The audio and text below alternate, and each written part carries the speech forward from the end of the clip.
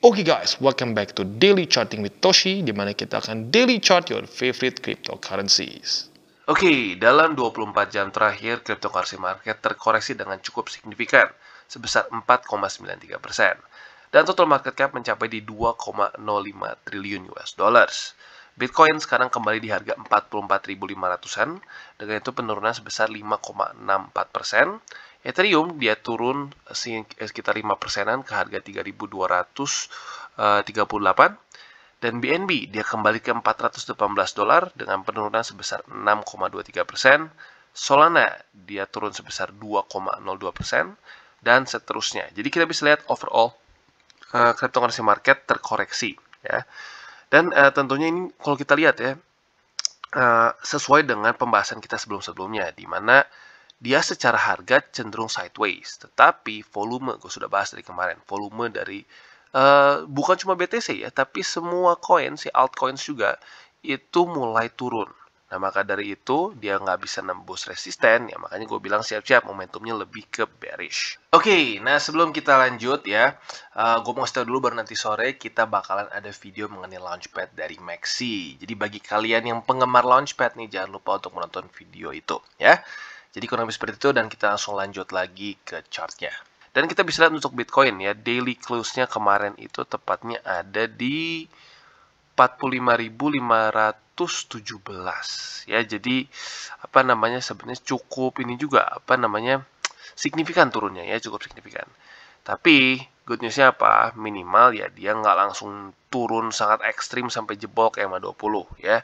Dia kemarin baru saja menembus untuk eh, kemarin tuh sempat jadi daerah buat yang high risk ya, buat yang agresif, walaupun akhirnya sedikit pindah ke 20. Nah, jadi buat kalian, uh, buat kalian yang mungkin masih pasang buy limit di situ udah kena nih di sini. Nah, sekarang ya, di waktu bersamaan nih ya, hari ini baru berapa jam nih? Baru berapa jam dari jam 7 pagi. Buat kalian yang sudah medium risk udah kena juga nih kemarin. Ya, jadi bisa dibilang pada hari ini buat yang medium dan yang high risk udah dapat semua posisi nih untuk uh, Bitcoin. Nah, tinggal pertanyaannya, apakah 44.467 bisa kuat dipertahankan oleh Bitcoin sebagai support atau tidak ya. Nah, sebelumnya kita bisa lihat daerah 440 sorry uh, 400 uh, 44.467 adalah satu daerah yang cukup kuat sebagai resisten di sini ya. 1 2 3 4 akhirnya tembus di sini ya. Nah, biasanya satu resisten yang kuat bisa berubah menjadi sebuah support yang kuat juga ya. Resistance become support ya setelah ketembus dengan momentum yang cukup. Nah, kita lihat pada hari ini apakah Bitcoin bisa cukup bertahan di sini saja atau sampai harus ke MA20 di daily. Nah, itu yang harus kita perhatikan ya. Dan hari ini nggak ada news ya guys, jadi kita langsung saja sekalian update ke bull support band. Nah, di mana kita bisa lihat ya, sekarang ya, bull support band sedang di retest. Ya, jadi nggak nunggu sampai seminggu ke depan, langsung dia tembus di retest ya.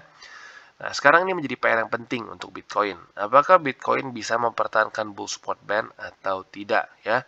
Dan bull support band sekarang ada di daerah 44.457 sampai 44.019. Ya, jadi range-nya gini deh, simpelnya jangan sampai daily close di bawah dari 44.000 ya. Kalau sampai dia mulai close di bawah dari 44.000, uh, lumayan berbahaya ya lumayan berbahaya. Walaupun walaupun to be perfectly honest ya kalau sampai close tipis ya nggak pasti langsung mati juga sih. Karena pada faktanya kita bisa lihat juga nih ke beberapa data di belakang nih. Di mana Bitcoin sempat gitu pernah close di bawah sedikit gitu ya.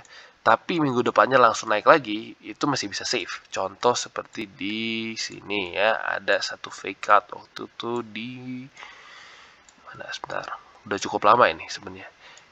Nah, di sini di 2000 ya 2013 lah di mana dia sempat close di bawah dari bull support band tapi minggu depannya langsung ada perlawanan sehingga masih bisa balik lagi. Ini sangat tipis. Tapi kita bisa lihat secara statistik banyaknya kalau udah tembus ya bahaya ya Bitcoin lanjut lagi ke bawah.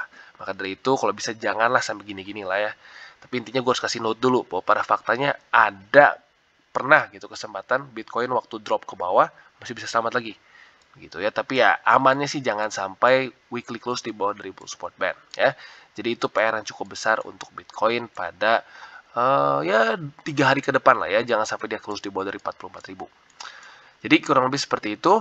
Dan sekarang kita akan sekalian masuk lagi untuk ke buy limit Bitcoin ya. Jadi untuk buy limit Bitcoin gua ulang lagi mungkin ya. Buat kalian yang agresif pasti udah dapat di sini ya. Di daerah 46.164 atau daerah EMA20 udah dapat berarti di situ. Dan yang medium risk buat kalian yang kemarin belum pasang gitu ya, ya boleh sekalian pasang sekarang. Yaitu di daerah 44.467 gitu ya. Jadi buat yang medium risk di daerah sini 44.467 ya. Alasannya kenapa? Ini adalah struktur. Tadinya resisten, ya kalau ketembus dia bisa berubah menjadi support. Dan buat yang konservatif seperti biasa nunggu di MA20 yang sekarang sudah semakin dekat ya, yaitu sekarang di 43.000 lebih 92 dolar ya. Jadi medium di 44.467 dan buat kalian yang konservatif di 43.092 dolar dan itu untuk Bitcoin. Dan buat kalian yang tertarik untuk averaging Bitcoin, altcoins yang lain bisa menggunakan link referral kita di bawah. Ada macam-macam ya. Ada Bybit, ada Maxi, ada Pionex, dan banyak lagi. Ya tinggal kalian bisa pilih sendiri. Wajib nggak? Enggak, nggak wajib. Ya terserah kalian. Tapi kalau kalian membantu dengan menggunakan link referral kita, lu secara aktif, lu secara aktif membantu perkembangan dari TCI. Oke, dan selanjutnya Cardano. Nah, untuk Cardano kita bisa lihat bahwa dia ya lagi-lagi reject oleh daerah 1 dolar 20 sen. Nah, dari kemarin uh, eh, gue udah bilang nih, hati-hati daerah sini ya. Karena dari uh, previous apa ya? Previous rally ya pada tanggal ya Februari lah Februari awal dia kerjek dengan uh, sangat jelas di sini ya dan ternyata terjadi pengulangan juga di sini di mana lagi-lagi Cardano di reject oleh daerah 1 dolar 20 sen. Tapi jujurnya not bad, not bad. Kenapa? Karena kapan sih terakhir lu lihat Cardano secara momentum cukup kuat gitu ya. Di sini dia menunjukkan bahwa indeed their demand is still quite high gitu ya. Nah, tapi ya intinya gue sudah bilang dari kemarin, jangan dipaksakan beli di sini. Dua alasan. Yang pertama adalah ini resisten yang cukup kuat sebelumnya. Dan yang kedua adalah RSI dia sudah overbought selama berapa hari nih ya. Uh, kayaknya 4 atau 5 ya, 5 hari lah. Nah, di mana ya kalau sudah overbought dan sudah di resisten yaitu konyol. Rata-rata secara probabilitas akan turun gitu dan akhirnya benar turun kan. Nah, jadi buat kalian yang kemarin sudah nggak apa namanya sudah nggak nyangkut di sini berarti bagus ya sudah bisa mengalahkan apa namanya monkey brain kita lah gitu kesannya ya. Nah sekarang yang menjadi satu buy limit yang baru di mana nih? Ada nggak buy limit baru bang? Gue baru perhatiin lagi, kayaknya sebenarnya ada satu buy limit baru yang masuknya buat ke agresif lah ya. Di mana di sini kita bisa lihat ada sebuah struktur ya yang kemarin gue sedikit kelewat ya. Di sini sebenarnya ada pullback sedikit. Jadi technically speaking ini struktur, tapi masuknya lebih ke high risk ya. Nah, jadi gue ulangi dari mulai ke Haris dulu ya. Yang paling high risk itu kita bisa pindah ke for hourly juga biar lebih lihat uh, visualisasinya lebih jelas ya si apa namanya uh, pullbacknya. Di sini uh, di mana dia terbentuk satu struktur. Nah jadi strukturnya ini di daerah satu dolar lebih satu sen lah ya. Atau sorry sedolar lebih 10 sen lah kalau kita buletin ya. Jadi buat kalian yang agresif bisa pertimbangkan di satu dolar 10 sen. Nah buat kalian yang medium risk ya bisa pertimbangkan di daerah 1 dolar lebih 3 sen. Ini kita buletin ke 3 sen ya. Nah, ini alasannya apa? Ini adalah sebelumnya adalah sebuah struktur support yang cukup baik untuk Cardano. Dan sekarang konservatifnya uh, sudah semakin dekat nih jujurnya ya. Jadi bisa dibilang konservatif dan medium ya kurang lebih di daerah yang sama ya. Kalau konservatif itu di daerah 1 dolar lebih aduh berapa ya? 1,004 ya. Kalau apa namanya untuk kalian yang medium risk di 1,024 atau 1,03 lah ya. Jadi kurang lebih seperti itu untuk Cardano. Oke, okay, dan Harmony One ya, lagi-lagi candlenya masih nggak jelas ya. PR yang kemarin dia nggak selesaikan. PR yang kemarin kan gue bilang salah satunya adalah close daily di atas dari 16 sen ya, ya sekitar 17 sen lah gue bilang ya. Karena kenapa? Ini masih jadi, eh, masih terjadi satu resisten struktur. Kalau biar lebih gampang kita kasih garis deh buat visualisasi ya. Nah, kita bisa lihat dengan jelas Harmony masih ke reject oleh daerah yang sama di sini ya. Dia turun lagi. Jadi ya baik lagi secara momentum nggak bagus untuk Harmony ya. Tapi minimal kalau dari sisi apa namanya ya ya silver liningnya lah ya. Silver liningnya minimal dia nggak tembus MA50 itu berita bagusnya. Dia ke reject tapi nggak ke apa nggak sampai tembus ke 50.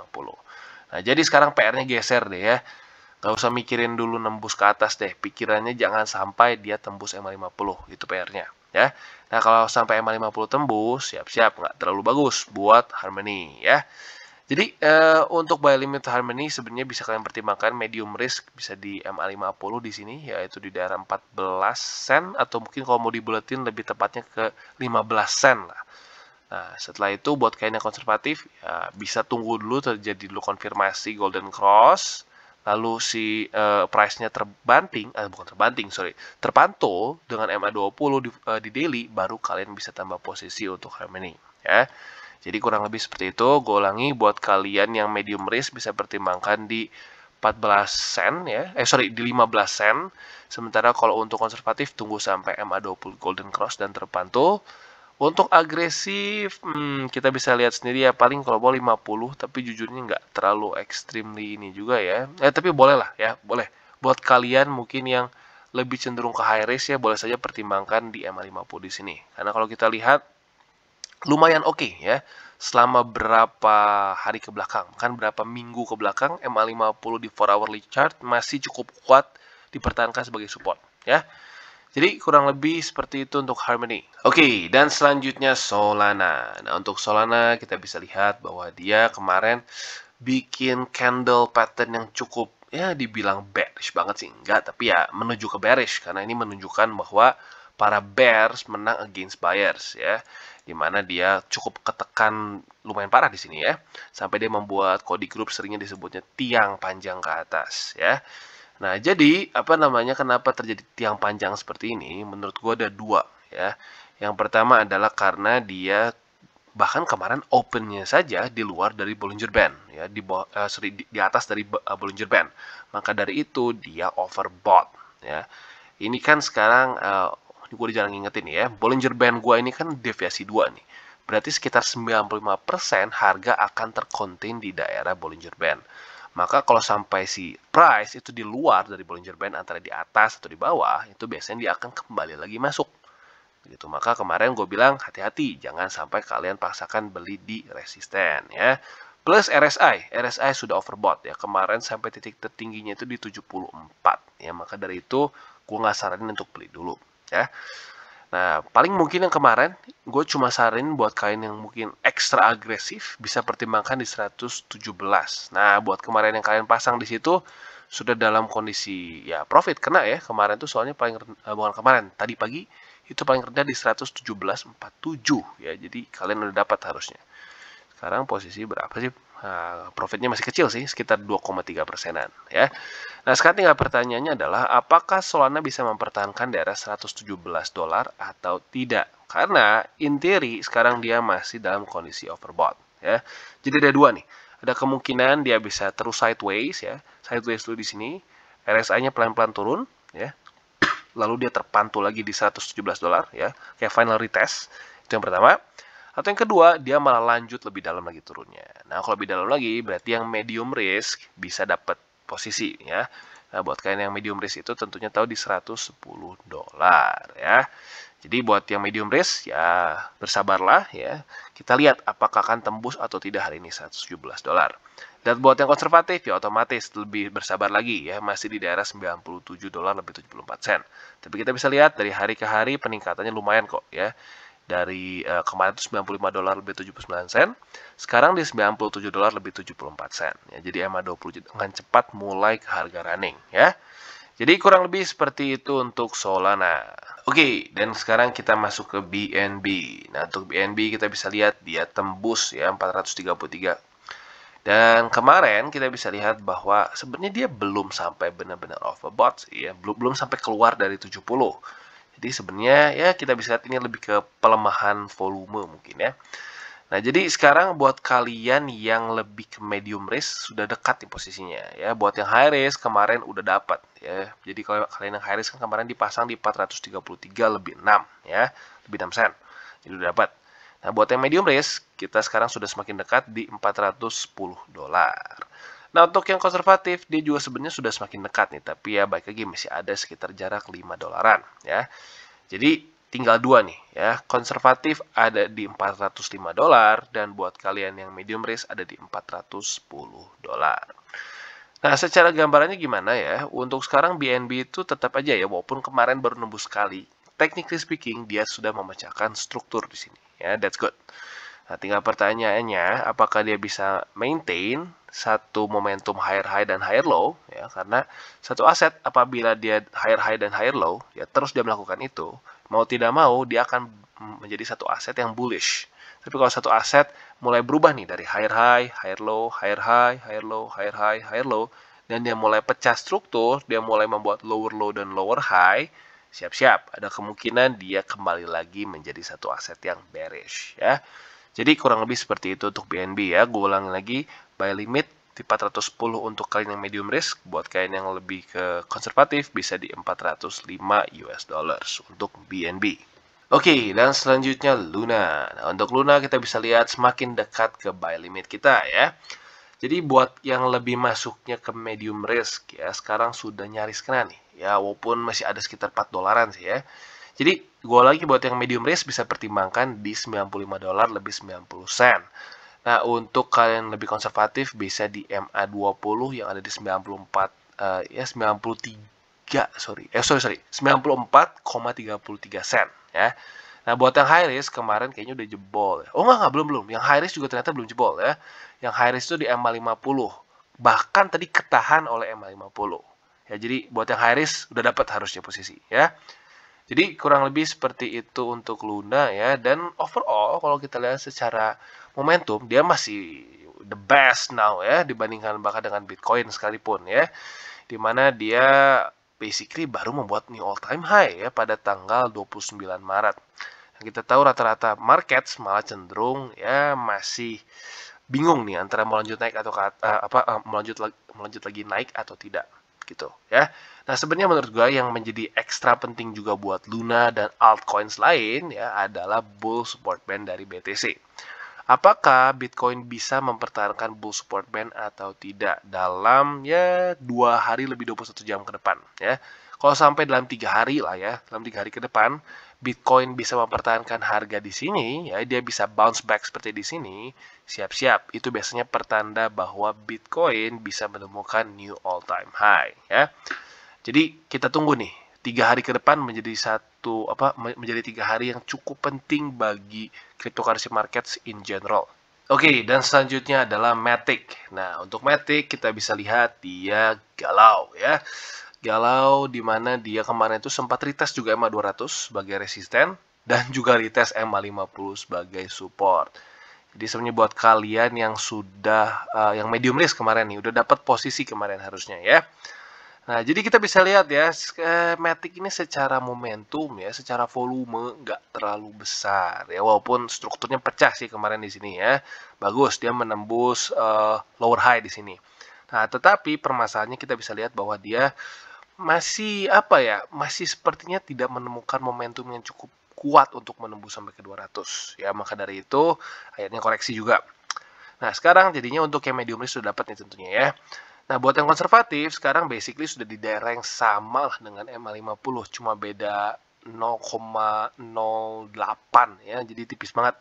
Jadi buat kalian yang konservatif, sekarang kurang lebih di daerah yang sama sama yang medium risk ya, yaitu di daerah 1 dolar lebih 54. Ya, lebih 54 set.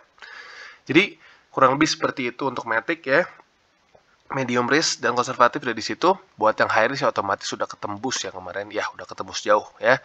Jadi maka dari itu uh, untuk Matic sekarang tinggal kita lihat nih, apakah MA50 dan 20 bisa mempertahankan harga Matic atau tidak. Dan di waktu bersama sebenarnya ada satu confluence lagi, yaitu adalah 1 dolar lebih, uh, lebih 53 sen yang sebagai struktur inilah uh, support ya di mana sebelum dia resisten ketembus pada tanggal 23 Maret Nah, biasanya satu resisten bisa berubah menjadi support. Ya, jadi sebenarnya harusnya secara support Matic cukup banyak ya. Tinggal kita lihat nih apakah dia bisa bertahan atau tidak. Gitu. Oke okay guys, jadi itu adalah akhir dari segmen DCWT kita pada hari ini. Dan jangan lupa bagi kalian yang merasakan manfaat dari segmen ini, jangan lupa untuk share ke teman-teman kalian. Dan apabila lu pengen mensupport channel kita ya TCI jangan lupa untuk menggunakan link referral kita di bawah. Nggak wajib ya, tetapi apabila lu menggunakan link referral kita di bawah, ada macam-macam ya dari Bybit, Huobi, Maxi, toko kripto dan banyak lagi ya. Ya, walaupun nggak wajib, tapi kalau menggunakan link referral kita, lo secara langsung membantu perkembangan dari TCI. Dan satu lagi, jangan lupa juga untuk join Telegram grup kita, di mana kita bisa ngobrol-ngobrol santai mengenai dunia cryptocurrency secara dua arah. So, jangan lupa untuk like, subscribe, click the bell icon, and see you on the next video.